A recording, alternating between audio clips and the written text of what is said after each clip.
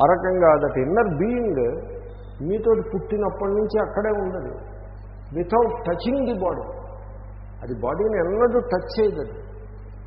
ఎందుకంటే this is matter and gross whereas ఆ inner being అది ఆకాశం. అండ్ ఆ inner బీయింగ్లో the entire universe is is included in జగత్ అంతా దాని అందే ఉంది. అది దేవుడు. అది అది వ్యోమవత్ సర్వవ్యాపి. You can feel it now and here it is something that you can feel that you can access now and here as it cannot be described చూసారా చిత్రం? దాన్ని వర్ణించమంటే కష్టం కానీ వర్ణించలేకపోయాం కదా మనకు దూరంగా ఉందని మీరు అనుకోద్దు. ఇంకా అంతకంటే దగ్గరగా ఉన్నది మరొకట్లేదు తద్దూరే తద్వంతికే. అంతకంటే దగ్గరగా మరొకట్లేదు దట్ ఇన్నర్ స్కై అది. అంచేతనే ఋషులు ఆ విష్ణువుని వర్ణించమన్నారు. ఋషుని ఋషిని వర్ణ ఋషి యొక్క వర్ణన చాలా అద్భుతంగా ఉంటుంది. ఋషి ఋషి అంటే దర్శిస్తాడు ఆయన. అలా దర్శించిన దాన్ని అది ప్రకటమవుతుంది ఆయన ప్లాన్ చేసి ఆర్గనైజ్ చేసి ప్రకటన కాదు. స్పాంటేనియస్గా ప్రకటమైపోతుంది అలా దర్శిస్తుండగానే అలా నోట్లోంచి ప్రకటమైపోతుంది ఆ ఋషి మాట్లాడే భాష సంస్కృతం అయితే సంస్కృతంలో వచ్చేస్తుంది ఇంగ్లీష్ అయితే ఇంగ్లీష్లో వచ్చేస్తుంది. ఆయన ఎలా దర్శించాడంటే తద్విష్ణో పరమం పదగుం సదా పశ్యంతి సూరయ దివీవచక్షురాతతం అని దర్శించాడు. అది అలా దర్శించాడు. దివీవ చక్షురాతతం కళ్ళు తెరిస్తే చుట్టూ ఏముంది? ఆకాశం ఉంది. Forget about the matter. Matter is matter is not the point. ఆకాశం ఉంది చూడండి చుట్టూ. దివీవ. ఈ ఆకాశమంతా ఏది వ్యాపించి ఉంది? కాంతి ప్రకాశము వ్యాపించి ఎక్కడ చూసినా ఆకాశంలో ఆ కాంతి వ్యాపించి ఉంది అదే దృష్టాంతం. దివీవ చక్షు. చక్షు అంటే కాంతి. దివి చక్షు ఇవ. ఆతతం. కళ్ళు మూసుకోండి ఇప్పుడు. ఎలా అయితే ఆకాశమంతా కాంతి వ్యాపించి ఉందో ఆ అంతరాకాశము ఆ విధంగా సర్వవ్యాపకమై ఉన్నది. ఇంకొక చిత్రం. ఈ బయట ఉన్న ఆకాశము దృష్టాంతం. దార్ష్టాంతికము అంతరాకాశము బయటున్న ఆకాశము కంటే కూడా గొప్పది. ఆ బయటున్న ఆకాశాన్ని కూడా వ్యాపించి ఉంటుంది. ఇంకా వేరే దృష్టాంతం లేక ఆకాశాన్ని దృష్టాంతంగా చెప్పారు. వాస్తవానికి ఆకాశమును కూడా తన చైతన్యంతో అది వ్యాపించి ఉంటుంది. ఆకాశాన్ని కూడా తెలుస్తూ ఉంటుంది. తెలివి రూపంగా వ్యాపించి ఉంటుంది. అదిగో ఆ తెలివి దట్ ఇన్నర్ బీయింగ్ దట్ అంతరాకాశము అది అది అక్షరము అని ఒక ఒక లక్షణం. లక్షణం అంటే అలాగే ఉంటుంది. మీకు ఇటు ఇట్ పాయింట్స్ అవుట్ ఆ డైరెక్షన్ చూపిస్తుంది తప్ప అదిగో ఇది అని చూపించదు. ఆ డైరెక్షన్ చూపిస్తుంది. అది లక్షణం. సర్వత్రగం వ్యోమవత్ వ్యాపి. అదొక లక్షణం. ఆ అక్షర పరబ్రహ్మ అది it is now it is now if not it is never అంటే ఎప్పుడు కూడా నవ్వులోనే ఉంటుంది. అక్షర పరబ్రహ్మ ఆ ఇన్నర్ ఆకాశము అంతరాకాశము అది ఇప్పుడు ఉంటుందా భవిష్యత్తులో ఉంటుందా? ఇప్పుడే ఉంటుంది. ఇప్పుడు ఉండకపోతే ఇంకెప్పుడు ఉంటుంది అలాగనమాట. కాబట్టి దాన్ని దాన్ని కాలం యొక్క ప్రవాహంలో పెట్టి ప్రయత్నం చేయకూడదు. కొంతమంది ఏమంటారంటే ఏమండి అక్షర పరబ్రహ్మ వల్ల జన్మలు ఎత్తితే కానీ దొరకదంటాడు already he has defeated himself తనే డిఫీట్ అయిపోయాడు. మనం ఈ కలికాలంలో అక్షర పరబ్రహ్మ దొరుకుతుందా అంటాడు. ఇంకా వాడికి దొరకదు అయిపోయిందంటే. వాడి ఇంకా కృతయోగం కోసం వెయిట్ చేయటమే. ఎప్పుడు వస్తుంది కృతయోగం? ఇంకెప్పుడు ఇంక కృతయోగం ఏంటండి ఏమైనా అర్థం ఉందా? కృతయుగం అంటే ఎక్కడి నుంచి వస్తుంది? కలియుగంలోనే పెట్టి మీరు ఇప్పుడే కలియుగం ఉన్నారు దీనికి నాలుగు లక్షల సంవత్సరాలు ఉంటున్నారు ఇంకా కృతయుగం ఎక్కడి నుంచి పట్టుకొస్తారు? అదే వచ్చి మాట కాదు. కాబట్టి ఆ రకంగా దానికి మీరే ఆటంకం కలిగించుకోవడం అనే పొరపాటు చేయకుండా it is always in in నా అక్షరం సర్వత్రగం ఇక అచింత్యంచ రెండవది అచింత్యంచ అవ్యక్తత్వాత్ అచింత్యం అది వ్యక్తము కాదు. కంటితో చూసేది కాదు చెవితో వినేది కాదు. కాబట్టి బుద్ధితోటి సంకల్పించేది కాదు. ఆయన శంకర్లు అంటారు ఏది కరణగోచరం తద్ మనసా అపి చింత్యం. ఎందుకనేది అవ్యక్తం ఎందుకైంది? గోచరము కాదు. ఇంద్రియ గోచరము కాదు బుద్ధి గోచరము కాదు. ఎందువలన? హి ఎందువలనగా ఏదైతే ఇంద్రియములకు గోచరమవుతుందో అంటే ఆబ్జెక్టిఫై అవ్వడం. గోచరము అంటే ఆబ్జెక్టిఫై. ఇంద్రియములలో విషయంగా తెలియబడుతూ ఉంటుందో అదే మనస్సు చేత సంకల్పించబడుతుంది. తద్ మనసా అపి చింత్యం. దాన్నే మీరు మనస్సుతోటి సంకల్పించగలుగుతారు. ఇంద్రియ గోచరము కాని దానిని మనస్సుతో మీరు సంకల్పించలేరు. నేను మీకు ఒక ఎక్సర్సైజ్. ఈ పూజ స్వామీజీ అంటారు. నేను ఒకటి చెప్తాను. అది మీరు సంకల్పించాలి. ఓకే? రెడీ? గగ బుగన్ సంకల్పించండి. అంటే ఏం సంకల్పిస్తారు? ఏమి మీ సమస్య ఉంది సంకల్పించవచ్చు కదా అంటే అయ్యా నేను ఎప్పుడు చూడలేదు వెళ్ళలేదు ఎలా సంకల్పిస్తారు? కాబట్టి ఏది ఇంద్రియ గోచరమో దాన్నే మీరు సంకల్పిస్తారు. అక్షర పరబ్రహ్మ మీకు ఎప్పుడైనా రోడ్డు మీద వెళ్తుంటే కనపడిందా? మరి మీరు ఎలా సంకల్పిస్తారు? ఎవరిలో నన్ను అడిగారు విష్ణువు గొప్ప శివుడు గొప్ప. అంటే నేను నేను ఎప్పుడు ఈయన్నిత చూసిన పాపాన్ని పోలేదు ఆయన్ని చూసిన పాపాన్ని పోలేదు. నాకు తెలిసి మా నాయనగారు కానీ మా తాతగారు కానీ మా వంశంలో పద్నాలుగు తరాల వరకు ఎవళ్ళు విష్ణువుని చూడలేదు శివుణ్ణి చూడలేదు. మాకు ఎలా తెలుస్తుంది? తెలియదు కదా. మీకు తెలిస్తే చెప్పండి. అంటే మాకు తెలుసు చెప్పండి. నేను బలబుద్ధి చెప్తున్నాను విష్ణువే గొప్ప.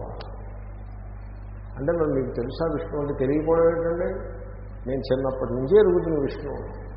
ఓకే విష్ణువుని ఎరుగుదురు శివుడు కూడా తెలిసి ఉండాలి కదా మరి విష్ణువు గొప్ప శివుడు కంటే చెప్పడం శివుని కూడా ఎరుగుదురు మా పురాణాల నిండా వాళ్ళే ఉన్నారు.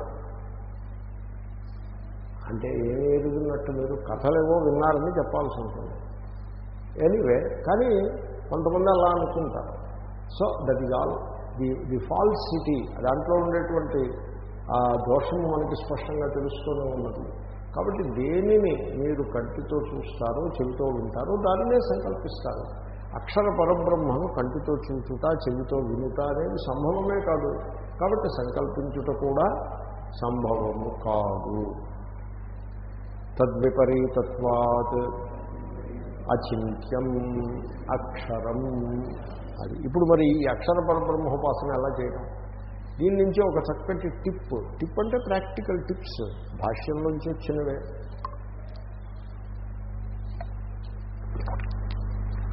ఇప్పుడు మీరు మనస్సుతోటి ఏం చేస్తారు? సంకల్పిస్తారు. That is what you do మనస్సుతో సంకల్పిస్తారు. ముక్కుతో ఏం చేస్తారండి? ఆఘ్రానిస్తారు పట్టకారుతో ఏం చేస్తారు?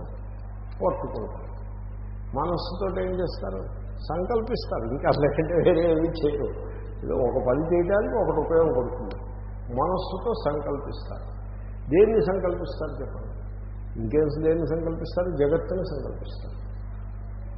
ఎందుకంటే జగత్తును సంకల్పించడం అవసరం కదా? జగత్తులో చేయాల్సింది ఏదైనా ఉంటే అది పూర్తి చేసి దాని నుంచి బయటకు వచ్చేయటం. ఇప్పుడు ధ్యానం చేయడానికి కూర్చుని జగత్తును సంకల్పించే ఉపయోగం ఏంటి? వేస్ట్ కదా. అయితే ఇప్పుడు ఏం చేద్దామంటారు జగత్తును సంకల్పించుదామా వద్దా? వద్దు.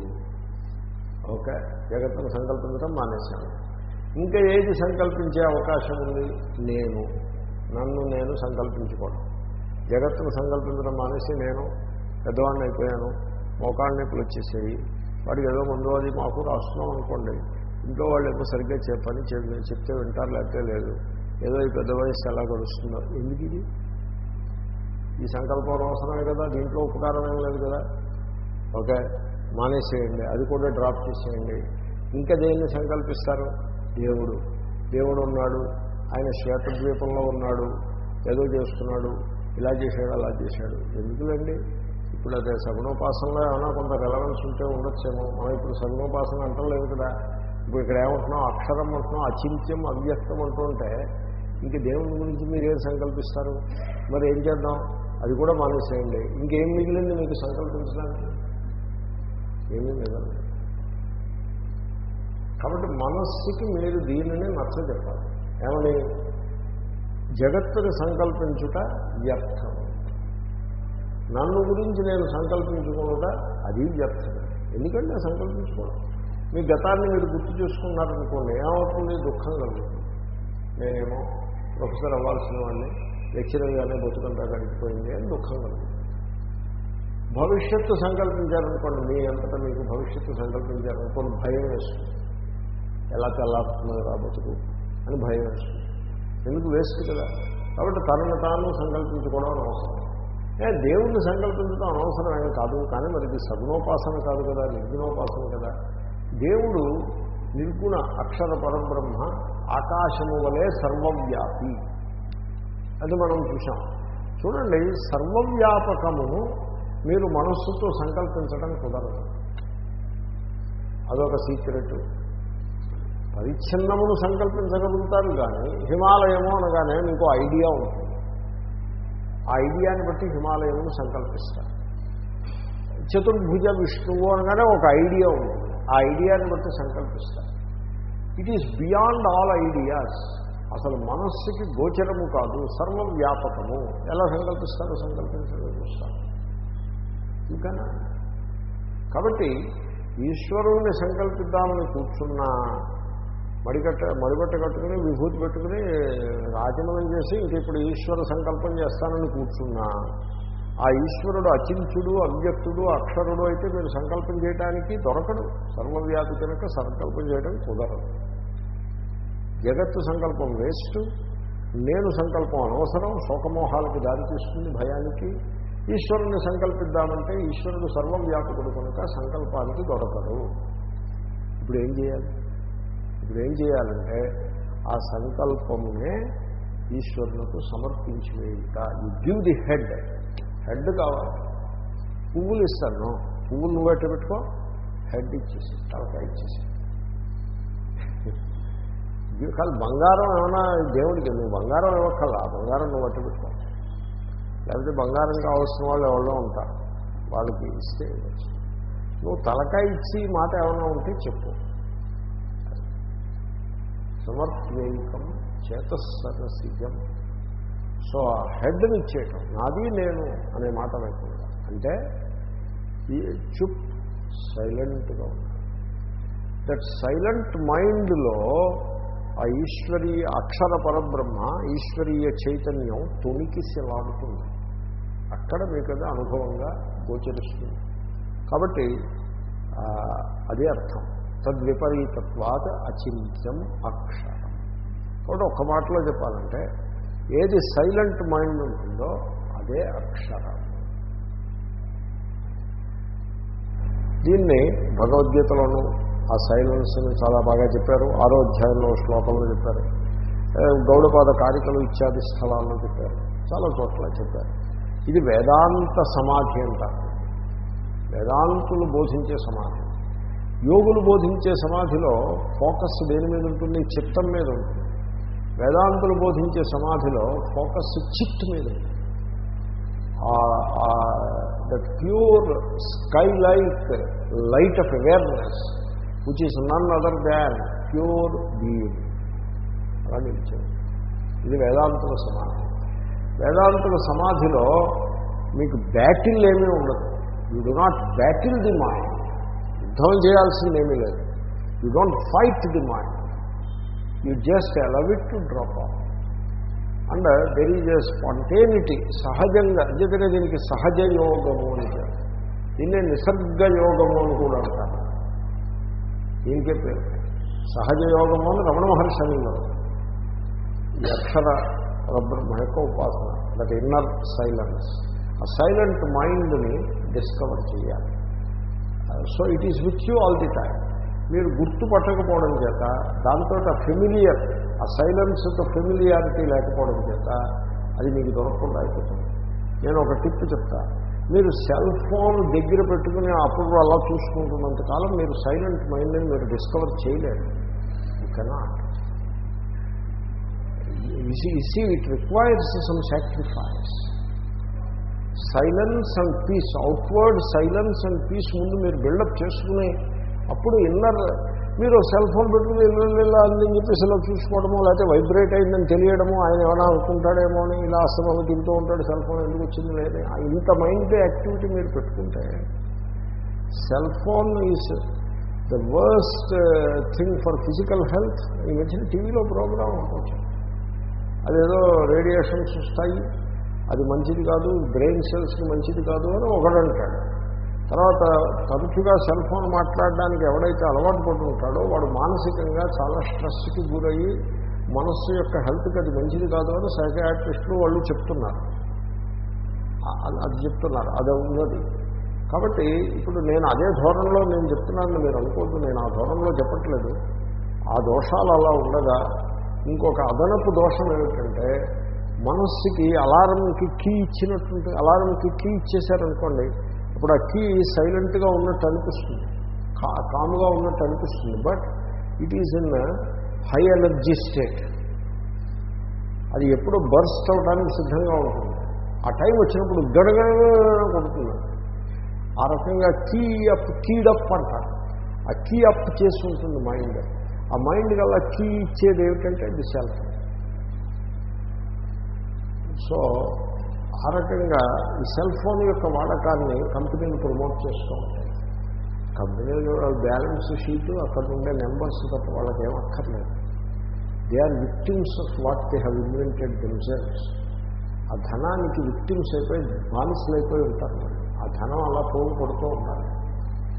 ఆ ధనాన్ని వాళ్ళు వాడుకునేది ఏమి ఉండదు. ఎవడు వాడతారండి ఇంత ధనాన్ని ఏం వాడతారు? రోగం వస్తుంది. కానీ దానికి బానిసలు అయిపోయి ఉంటారు. అందుకోసం ధనాన్ని పోగు చేస్తూ ఉండాలి. అందుకోసం జనాల చేతుల్లో ఇంకో ఒక లక్ష సెల్ ఫోన్లు పెట్టేస్తే మాకు ఈ నెల సేల్స్ పెరుగుతాయి. వాళ్ళు అలా ప్రయత్నం చేస్తూ ఉంటారు. వాళ్ళు ప్రోత్సాహం చేస్తూ ఉంటారు. ఈ కార్పొరేట్ పీపుల్ ప్రోత్సాహం చేస్తూ ఉంటారు. Most unfortunate part of it is we become victims of that కాబట్టి so that inner silence discover చేయడానికి you need to have some sacrifice కొంత సాక్రిఫైస్ చేయాల్సి ఉంటుంది. ఇలాంటి పిచ్చి పిచ్చివి కొన్ని సాక్రిఫైస్ చేయక తప్పదు.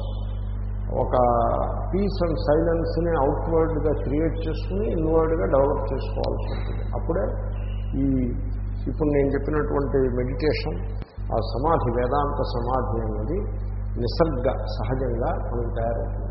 దాన్ని సహజయోగము అని అంటారు.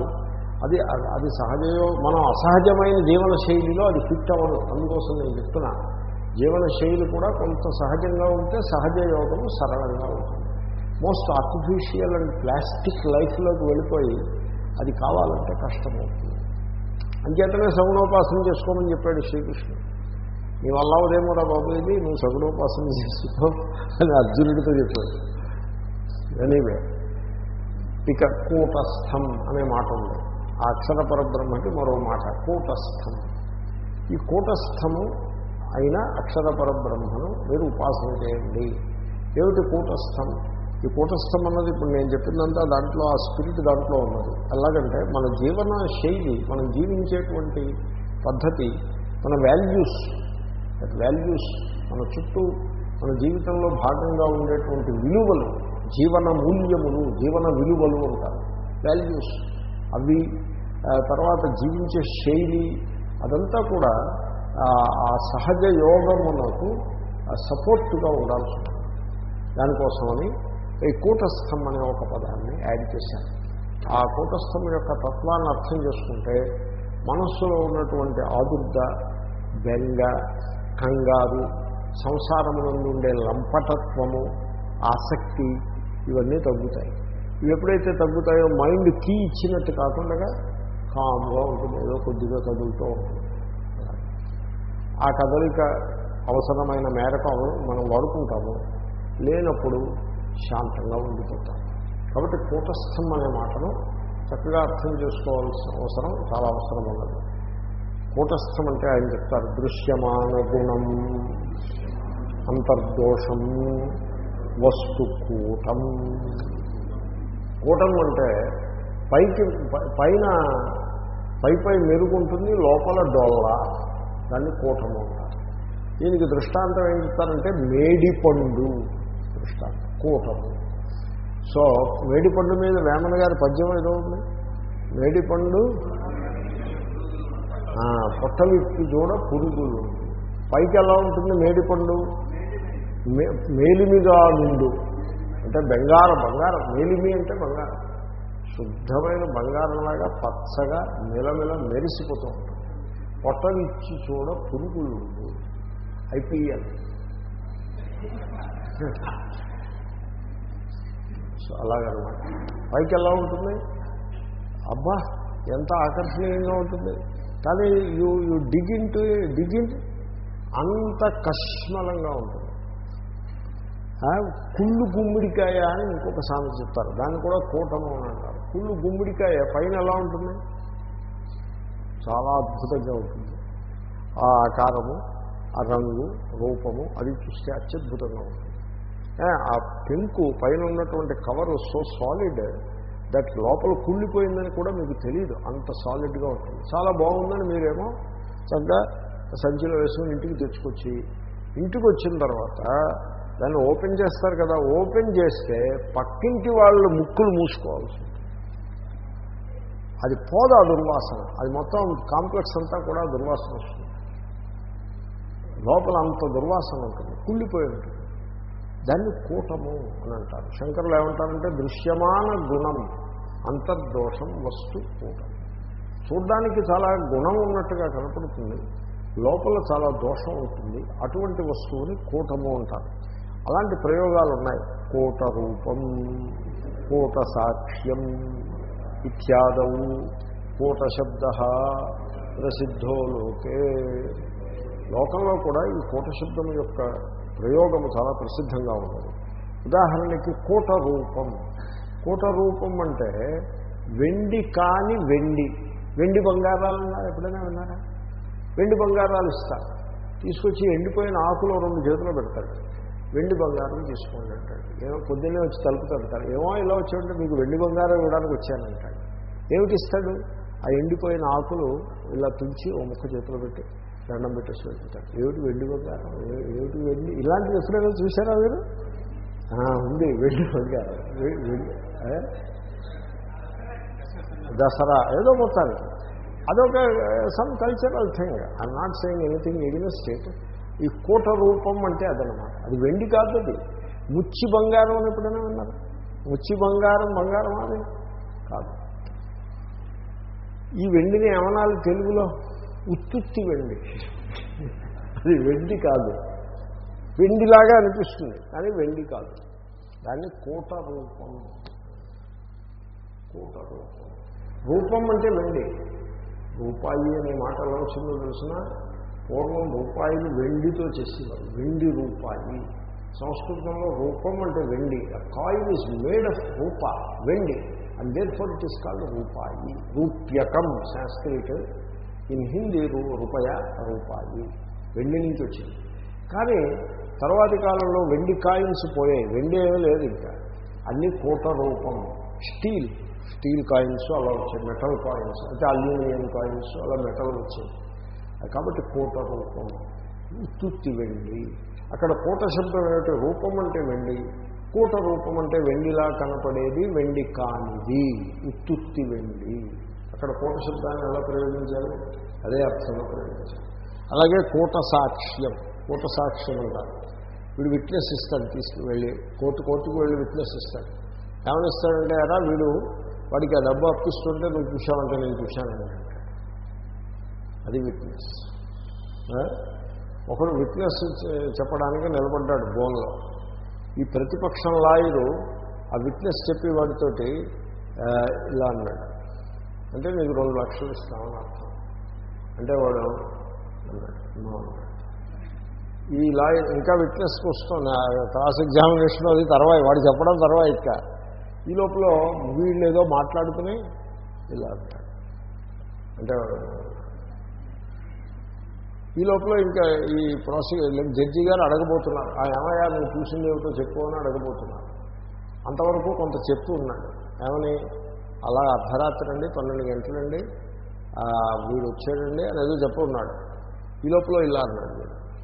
నాలుగు లక్షలు వాడు నో అన్నాడు. సరే. సరే అని ఇంతట్లోకి నాకు తెలివి వచ్చిందండి. అంతా కళ తప్ప ఏమీ లేదండి. నేనేమి చూసింది లేదు పెట్టింది లేదు అని చెప్పాను దాంతో ఈ విట్నెస్ మన పక్షాన్ని విట్నెస్ వీడికి బస్సు ఎక్కి కారులో కూర్చోబెట్టి తీసుకొచ్చారు. వీడి వీడి పక్షాన్ని విట్నెస్ చెప్తారు వాళ్ళు స్టన్ అయిపోయారు. తర్వాత ఐదు లక్షలు వసూలు చేసుకున్నాడు కూట సాక్ష్యము అంటారు. అక్కడ కూడా కూట అంటే జడ్జి గారికి ఆ సాక్ష్యం అంతా రికార్డు చేసుకుంటాడు. అక్కడ క్లర్క్ రికార్డు చేస్తాడు. అది ఐ విట్నెస్ రికార్డు ఉంటుంది. ఆ ఐ విట్నెస్ ప్రకారంగా ఏమీ జరగలేదు చూసింది ఏమీ లేదు. ఆయన ఇంకా భ్రమపడ్డాడు తప్ప చూసింది ఏమీ లేదని ఉంటుంది. ఆయన జడ్జిమెంట్ ఏమిస్తాడు? కేసు డిస్మిస్ అని జడ్జిమెంట్ ఇస్తాడు.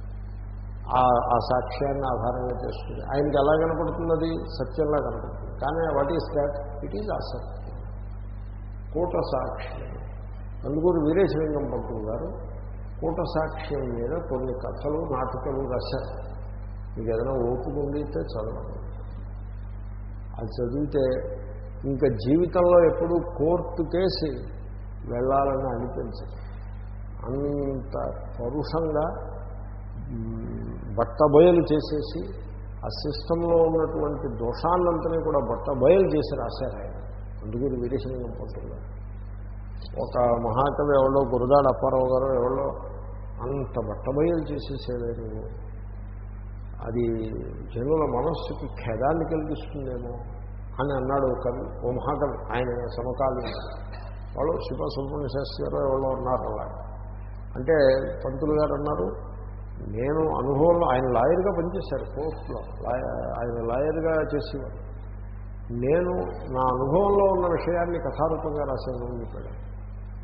అంటే ఏ నుండి జెడ్ వరకు ఏ టు జెడ్ అంతా కూటమే కూటము తప్ప ఇంకా సత్యం అనేది లేదట. దురదృష్టం. సో భగవద్గీత ఇత్యాది అద్భుతములైన గ్రంథములు సత్యతత్వాన్ని బోధించే గ్రంథములు మనకున్నాయి.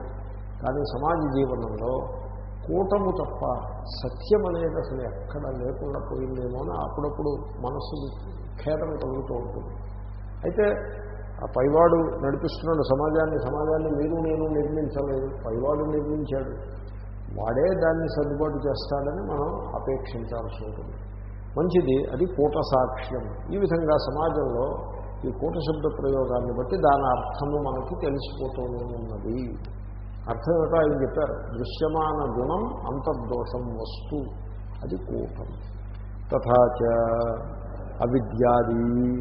అనేక సంసార బీజం. ఈ అవిద్య ఉన్నది చూసారా? అంటే అజ్ఞానము అజ్ఞానము అంటే దేవుని యొక్క స్వరూపం వాడికి తెలియదు జగత్తు యొక్క తత్వం వాడికి తెలియదు ఆత్మతత్వం వాడికి తెలియదు దీన్ని అజ్ఞానము అంటారు. ఈ మూడింట్లో ఒకటి తెలిస్తే మిగతా రెండు తెలిసినట్టే. వాడికి ఈశ్వరతత్వం తెలిసిందనుకోండి జగత్తు మిథ్యాని ఆత్మకి ఈశ్వరునికి అభేదమని వెంటనే తెలుసుకోండి జగత్తు యొక్క తత్వము మిథ్య.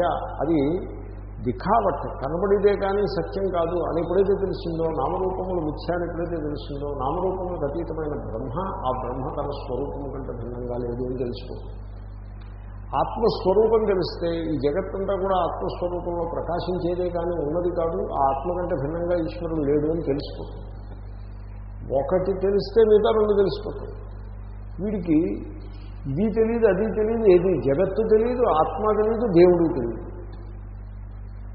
వీడిని అజ్ఞానము దీన్ని అజ్ఞానము అంటారు. కానీ వాడి పద్ధతి చూస్తే ఎలా ఉంటాడు? మహావిద్వాంసులాగా ఉంటాడు. వేషం పోషక్కుగా ఉంటుంది.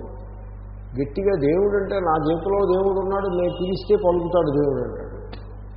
పిలిస్తే పలుకుతాడా? టెలిఫోన్ చేస్తే దేవుడికి టెలిఫోన్ పెట్టేశాడు. ఇక్కడ నుంచి డయల్ చేస్తే దేవుడికి టెలిఫోన్. ఆ దేవుడు అక్కడ ఉన్నాడు.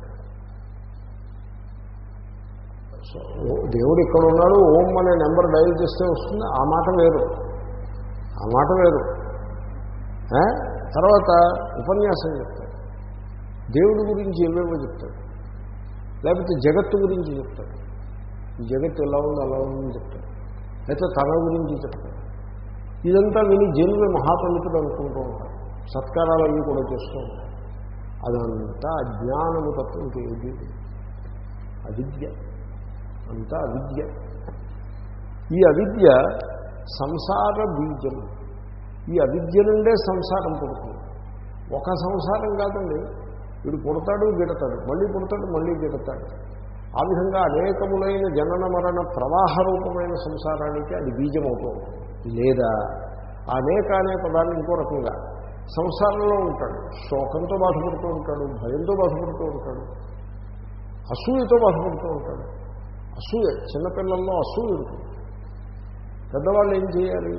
ఈ అసూయను గుర్తుపట్టి మన పిల్లాడిలో అసూయ ఉంటే దాన్ని సపోర్ట్ చేయకూడదు మన పిల్లాడు కాబట్టి ముద్దు కాకిపిల్ల కాకి ముద్దు అన్నట్టుగా ఉండకూడదు ముద్దు ఉండాలి. అసూయ కనపడుతుంది పిల్లల్లో. వాడికి తనకంటే ఎక్కువ మార్కులు వాడిని చూస్తే వాడి ఎందుకు వ్యతిరేక భావం ఉంటుంది. వాడితో దెబ్బలాడేందుకు ప్రయత్నం చేస్తాడు? లేకపోతే అసూయ పడతాడు. నాకంటే వాడికి ఎక్కువ వచ్చాయని అసూయ పడతాడు.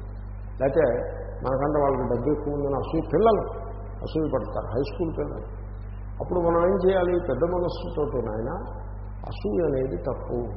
ఇతరులు వాళ్ళ యొక్క పుణ్యాన్ని బట్టి వాళ్ళకు ఉన్నది వాళ్ళకుంది మనకున్నది మనకున్నది. మనకున్నదాంతో మనం సంతోషపడాలి కష్టపడి పని చేసుకుని ఇంకా ఏదైనా సంపాదించుకోవచ్చు కానీ ఉన్నవాడిని చూసి అసూయ పడకూడదు.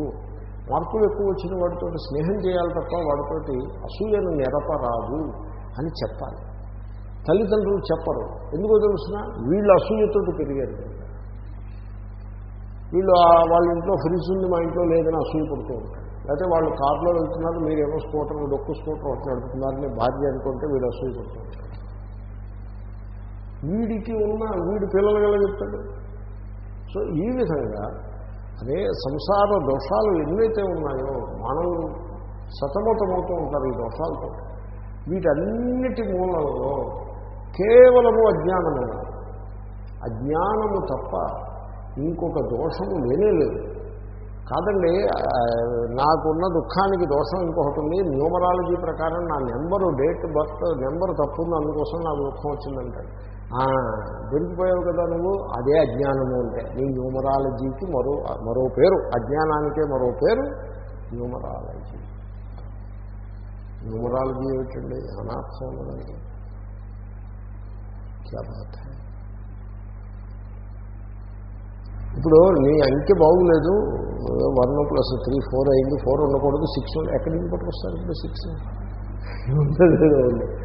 కాదండి మీరు ఆపదానుపహర్తారం దాతారం సర్వసంపద లోకాభిరామం శ్రీరామం భూయో భూయో నమామ్యహం. అది మీకు చదువుకోండి మీకు ఉపయోగపడుతుంది అంటాడు. దానికి ఈ నాలుగు ఆరుకి సంబంధం అది చదువుకుంటే ఉపయోగపడుతుంది. దట్ ఈస్ క్లీన్ దానికి దానికి ఇది కనెక్షన్ ఏమిటి? నెంబర్కి దానికి సంబంధం ఏమైనా ఉందా? లేదు. అంటే ఏమిటి? ఒక అందమైనటువంటి రామోపాసనకి నెంబర్తో ముడిపెట్టి దాన్ని థియలాజికల్ న్యూమరాలజీ అంటారు. ఆ విధంగా దాన్ని తగలబెడతారు. అటు రామనామ రామోపాసన చెడిపోతుంది. ఇటు న్యూమరాలజీ ఎందుకు పనికిరాదు? నేను మీకు చిన్న దృష్టాంతం చెప్పా. అజ్ఞానం యొక్క విలాస ఎలా ఉంటుందన్న దానికి దృష్టాంతం చెప్పా. మీకు దుఃఖం ఉందా? ఉంది. ఎందుకు దుఃఖం ఉంది? నా భార్య నన్ను ఏదో ఉంది. గ్రహస్థితి బాగుంది. ఓర్ నీ గ్రహస్థితి కూడా గ్రహస్థితి కాదురా.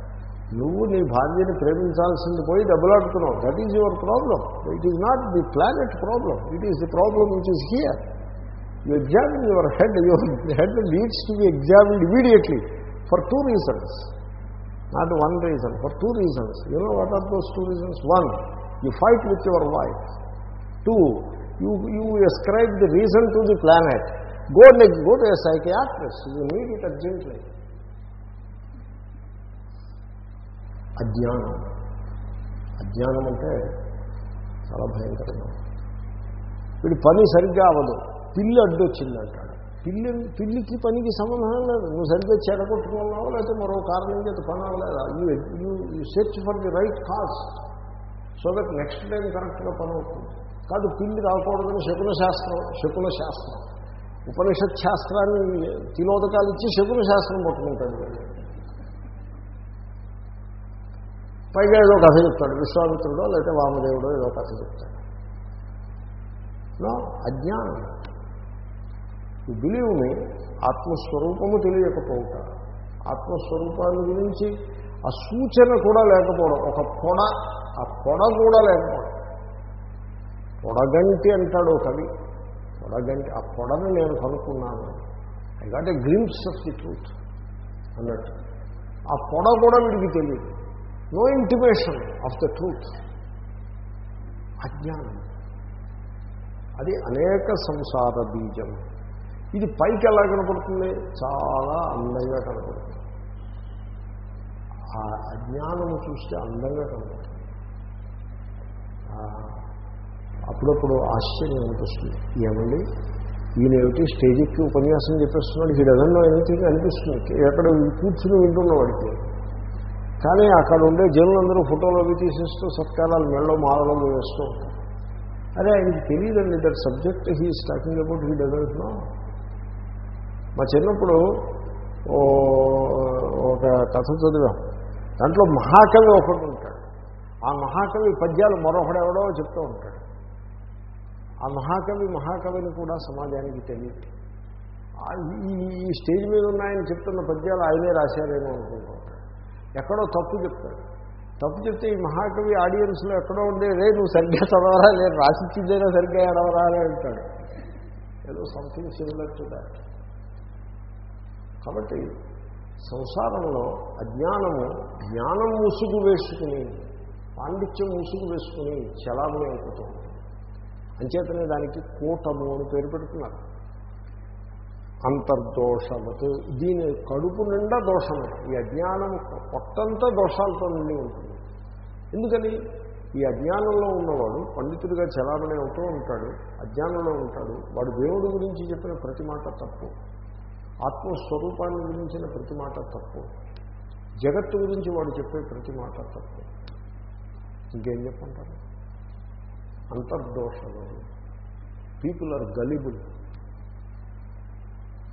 People have what is called credulity credulity they believe and they are ready to believe that credulity ఉంది చూసారా that innocent credulity that is a great force it is credulity ఉందంటే అది వెరీ పవర్ఫుల్ ఇట్ ఈస్ మీరు చెప్పిన మాటని గుడ్డిగా నమ్మేవాడు ఒకడు ఉన్నాడంటే you can use him as a weapon ఎందుకంటే వాడు అంత ఫోర్స్ తోటి ఉంటాడు. ఇన్నోసెంట్ క్రెడ్యులిటీకి అంత పవర్ ఉంటుంది. And some of the religious sects the thrive on this innocent credulity of the common folk చాలా most painful thing it is పైకి ఎంత సూపర్ స్ట్రక్చర్ ఎంత ఎలాబరేట్గా ఎంత ఆకర్షణీయంగా ఉంటుందంటే లోపల ఏమీ ఉండదు. డొల్ల హుళక్కి ఏమీ ఉండదు. This is how the social life the religious life of the society moves on అది కూటమి. సో అంతర్దోషవత్ మాయా అవ్యాకృతాది శబ్దవాచ్యం ఈ అజ్ఞానానికి కొన్ని అందమైన పేర్లు పెట్టారు. అజ్ఞానానికి అందమైన పేర్లు. ఈ జగత్ ఎక్కడి నుంచి పుట్టింది? అజ్ఞానం నుంచి పుట్టింది. కానీ అజ్ఞానం నుంచి పుట్టింది అనరు అవ్యాకృతం నుంచి పుట్టిందంటారు చూసారా ఎంత అందమైన పేర్లు పెట్టారు. అజ్ఞానం నుంచి పుట్టింది. హిరణ్య గర్భుని అజ్ఞానం నుంచి పుట్టింది. శంకరులో చోట అంటారు అజ్ఞానం నుంచి పుట్టింది అంటారు మాయా అవిద్య రెండింటికి కొంత డిస్టింక్షన్ మెయింటైన్ చేస్తారు. ఈశ్వరుడైతే మాయ జీవుడైతే అవిద్య అని అలా మెయింటైన్ చేస్తారు. కానీ ఒక స్టేజ్లో ఆ డిస్టింక్షన్ కూడా పక్కన పడేస్తారు. వాడేసి అవిద్య నుంచి పుట్టిందంటారు అంచేతనే మీకు బ్రహ్మదేవుడు సృష్టి చేసేటని కథలు ఉంటాయి చూసారా? ఆ కథలు అన్నింటిలోనూ బ్రహ్మదేవుడికి ఏం చేయాలో తెలియదు మీరు ఏ కథ చూసినా ఈ తెలియకపోవడం అనే దోషం ఉంటుంది ఆయనలో. ఏం చేయాలో తెలియదు ఆ పద్మంలో కూర్చొని గెలగలాడుతూ ఉంటాడు. అప్పుడు దేవుడు అదో చెప్తాడు. మొత్తానికి తెలియకపోవడం అనే లక్షణం అక్కడే బ్రహ్మదేవుల్లో ఉంటుంది. సరే సృష్టి చేయరా అని విష్ణువు చెప్తాడు వీడికి. ఏం చేయాలో తెలియకపోతే. సరే సృష్టి చేద్దామని మొదలు పెడతాడు. ఎలా చేయాలో తెలియదు. అంటే ఇప్పుడు ఎక్కడి నుంచి వచ్చిందంటారు? ఈ సృష్టి తెలియకపోవడం నుంచి వచ్చింది. వీడు పరీక్ష ఫెయిల్ అయ్యాడు. జులైలాగా తిరుగుతున్నాడండి. ఏమీ పరీక్ష ఫెయిల్ అయ్యాడు రెండోసారి కూడా జులైలా తిరుగుతున్నాడు. ఇప్పుడు వీడిని ఏం చేయాలంటే చక్కటి అమ్మాయిని చూసి కట్టేసేయండి అని వీడు అమ్మాయిని ఒక అమ్మాయిని వివాహం ఆడతాడు. ఇప్పుడు అమ్మాయిని వివాహం ఆడితే వీడు బాగుపడతాడని తల్లిదండ్రుల యొక్క అభిప్రాయం. So I don't know whether I write example అట్లా సో ఆ రకంగా ఇప్పుడు అజ్ఞ వీడు చదువు సంధ్య లేని వాడికి జూలైలా తిరుగుతున్న వాడికి అమ్మాయిని ఇచ్చి కడితే వీడు ఎలా బాగుపడతాడండి? ఏదైనా గురుకులంలో ఎక్కడైనా పడిస్తే బాగుపడతాడు కానీ. Anyway that is not the point ఏదో కనెక్షన్ ఉందని అనుకున్నాను భ్రమపడ్డాను నేను. So anyway coming back to the point బ్రహ్మదేవుడు సృష్టి చేసేటంటే బాగుండదని అవిద్య వేసేస్తే బాగుండదని అవ్యాకృతము అవ్యాకృతం నుంచి వచ్చింది మాయాశక్తి నుంచి వచ్చింది మాయా మాయాంతి ప్రకృతి విద్యాత్ మాయనంతు మహేశ్వరం ఈ ప్రకృతి ఉంది చూసారా? ఇది మాయ. మాయ అంటే ఏమిటి? అది స్వతంత్రంగా ఉనికి కలది. స్వత ఇప్పుడు స్వతంత్రంగా తనంత తనుగా నిలిచి ఉన్నది అని అనిపిస్తుంది. కానీ అది స్వతంత్రంగా నిలిచి లేదు. దట్ ఈస్ ది మాయ. ఇంకా కొంచెం మాయా అంటే మరి కొంచెం అవకాశంగా చెప్పాల్సి ఉంటుంది. నేను కంగారు పడితే అది తేలదు మీరు కంగారు పడితే అసలే తేలదు టైం కూడా అవ్వచ్చింది. కాబట్టి ప్రకృతి అంటే మీ చుట్టుపక్కల ఉన్న నేచర్ అని అర్థం కాదండి మంచి అందమైన ప్రకృతి. ఆ ప్రకృతి కాదు. ప్రకృతి అంటే జగత్ కారణం. జనికత్వ ప్రకృతి. ఏ ఏ అవ్యాకృత తత్వం నుండి ఈ జగత్తు పుట్టిందో దానికి ప్రకృతి అని పేరు. ఇప్పుడు ఆట ఆట ఇస్ ది ప్రకృతి ఫర్ చపాతీ. చపాతీకి ప్రకృతి ఏమిటి? ఆట. ఆ రకంగా ఈ జగత్తుకి ప్రకృతి ఏమిటి? మాయ. అవిద్య అవిద్య అది. ఏమంటే ఈ మాయను వశంలో ఉంచుకున్నవాడు మహేశ్వరుడు. ఈశ్వరుడు మాయనంటూ మహేశ్వరం మమ మాయా దురత్యయ ఈ నా మాయ దీన్ని దాటుట చాలా కష్టము. మాయ అంటే అది అజ్ఞానము. అజ్ఞానమును అజ్ఞానముగా గుర్తిస్తే మీరు అజ్ఞానం నుంచి బయటకు వచ్చేసినట్టే. ఇది అజ్ఞానము అని మీరు గుర్తించారనుకోండి you are free from it కానీ అది అజ్ఞానమని మీరు గుర్తించకుండా అది జ్ఞానమని మీరు అనుకుంటారు. Then you are bound by it ఇప్పుడు suppose you are fighting a court case so fighting a court case is అజ్ఞానం. ఇట్ ఈజ్ అజ్ఞానం. కానీ మీరేమనుకుంటారు? నేను చాలా తెలివైన పని చేస్తున్నాను అనుకుంటాను therefore you are bound by it suppose you see fighting a court case is ignorance is is wrong wrong means it is harmful మీకు మీకు లక్ష్యం సిద్ధించదు. You cannot reach the goal that you want to reach no అని మీరు అది క్లియర్గా మీరు చూడగలిగారు అనుకోండి. Then you are out of it already then it ఈ డజంట్ బైండ్ యూ ఇక్కడ ఈ మాయ అనేది అది అంతర్దోషం అని తెలియకపోవడం చేత ఆ బాహ్యంగా కనపడే గుణాన్ని చూసే ఆకర్షణ ఉండడం చేత వాడు దాని చేత బంధింపబడతాడు. ఆ రకంగా బాహ్యంగా చాలా ఆకర్షణీయంగా ఉండి ఆ కారణంగా దానిని అతిక్రమించుట అతి అయ అతి అంటే వెళ్ళడం దాన్ని దాటి ముందుకు వెళ్ళిపోవటం చాలా కఠినము. మమ మాయా దురత్యయ ఇత్యాదౌ ప్రసిద్ధం యత్. తత్కూటం.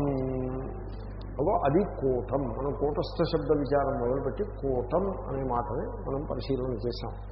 ఇప్పుడు కూటస్థ. తస్మిన్ కూటే స్థితం. కూటస్థం తదధ్యక్షతయా. ఆ పరమాత్మ ఆ కూటమునందు అంటే ఆ మాయయందు వ్యాపించి ఉంటుంది. ఏ రకంగానూ? మాయకు వశమై మాయ చేత కప్పివేయబడి అలాగనా? నో. తదధ్యక్షతయా. అంటే అధి ఈక్షతే ఇది మాయా. ఇది యథార్థము కాదు ఇది ఇది సత్యము కాదు. ఇది దిఖావట్ దృశ్యమాన గుణం. అలా కనబడుతోంది తప్పిస్తే దీంట్లో సత్తా లేదు పస లేదు. ఇది సారవంతమైన వస్తువు కాదు ఇది మాయా అని తెలుసుకుంటారు. దాన్ని అధ్యక్షతయ అంటారు. ఆ విధంగా ఎవడైతే మాయను మాయగా అజ్ఞానాన్ని అజ్ఞానంగా గుర్తిస్తూ ఉంటాడో వాడు ఆ మాయపై అధీశుడుగా నిలిచి ఉంటాడు. ఆ పరమాత్మ చైతన్యము మాయను ప్రకాశింపజేస్తూ మాయకు వశము కాకుండా మాయను సాక్షిగా దర్శిస్తూ ఉంటుంది. కనుక దానికి కూటస్థం అని పేరు. ఆ పరమాత్మ చైతన్యం అలా ఉంటుందంటే అభిప్రాయం ఏంటంటే మీరు కూడా ఆ పని చేయవచ్చు అని అభిప్రాయం. You can do the same thing ఎందుకంటే యు ఆర్ ద డివినిటీ మీరు మాయకి వశంగా ఉండాలనుకుంటే ఉండొచ్చు మీరు but if you want to rise above that you can. Essentially మీరు డివినిటీ అయి ఉన్నారు. ఆ దైవత్వం మీలో ఉన్నారు కాబట్టి మీరు మాయను అతిక్రమించడానికి అవకాశం ఉంటుంది. అది ఎలాగా? మాయను మాయ అజ్ఞానమును అజ్ఞానము అని తెలియటయే అజ్ఞానమును అతిక్రమించుట. కాబట్టి ద పాసిబిలిటీ ఇస్తే ఇది ఈ మాయా దాన్ని అతిక్రమించుట. ఈ టాపిక్ కొంచెం లోతైన టాపిక్ కదా. కొంచెం మీరు పెద్దలు ఓపిక పట్టాల్సి ఉంటుంది. దీన్ని రేపు కూడా మనం పరిశీలన చేద్దాం. ఓం పూర్ణమద